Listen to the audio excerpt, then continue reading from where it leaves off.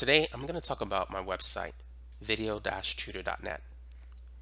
So for those of you who might be studying chemistry, physics, or math, you can access my playlists at this website. So if you're studying physics, let's click on this one,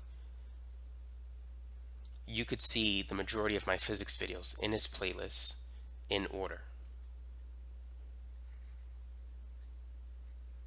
You can also see which videos are available to my members, for those of you who want to join my membership program. You could find it all over here. And as you can see, I have a lot of videos. Now, in addition to accessing the video playlist, you can also find my final exam review videos at this website, in addition to the test prep videos. Now, for those of you who are interested in getting access to the worksheets for organic chemistry, general chemistry, or even physics, my website contains the direct links to these worksheets.